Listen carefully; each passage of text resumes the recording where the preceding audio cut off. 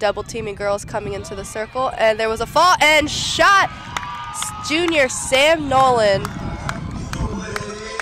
with her 37th goal of the season. Beautiful, Sam. The Wildcats faced the top two teams in the conference in their last two games, falling first to Stony Brook 11 to 4 and then Albany last Saturday 12 to 3. And there was a shot and it was in UMBC Retrievers. Caitlin Miller, a sophomore midfield from Frederick, Maryland. And this is her seventh goal of the season.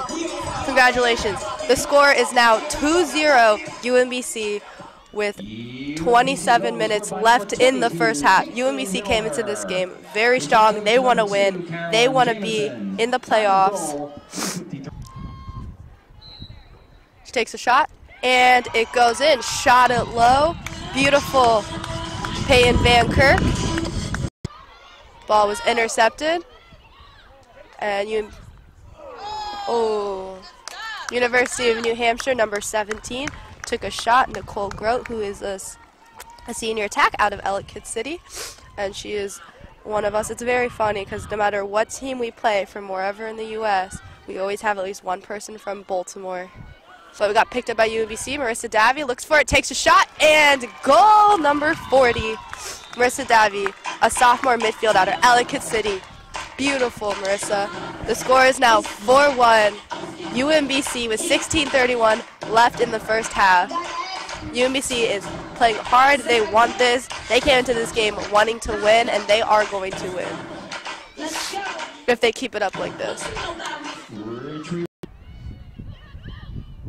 Here we go. There's a shot. And takes a shot, and it was deflected by Ashley Peacock, the goalie of UMBC. At number 33, Hope Kidzek. So number two, Carolyn Jameson takes a shot.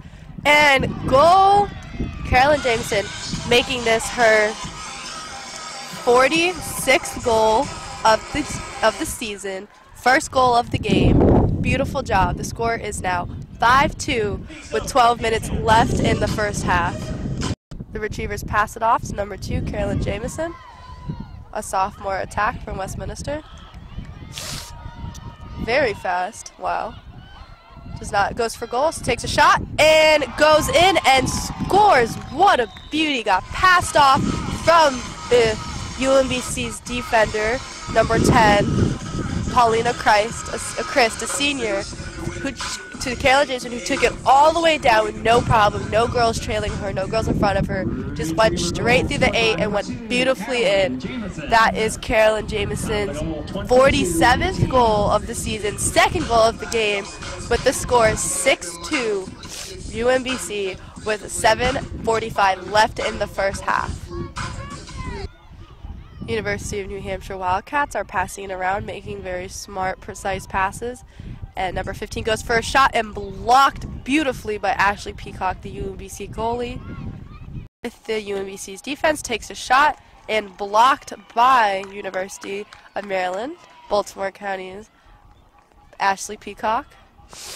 A direct shot. Takes a shot and it goes in.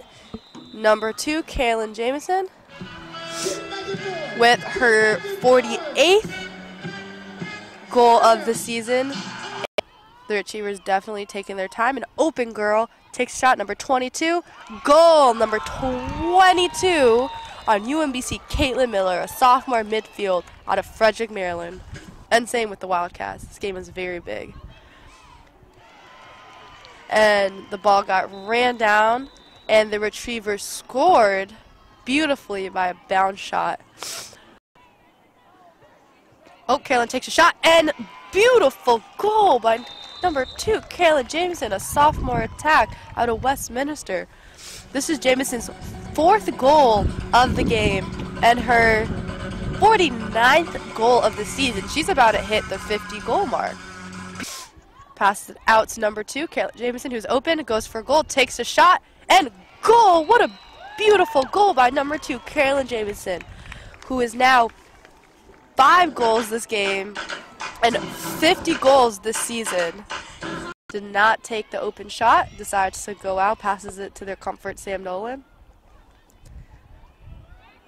Tries to take a shot, and it went in. Number 8 took a beautiful shot, Lauren McDonald. Just ran into one of UBC's players. Number 2, she takes a shot, and saved by Ashley Peacock, our junior goalie. So the Wildcats now have the ball with two minutes left. Takes a shot and blocked. Number nine takes a shot. Lauren McCole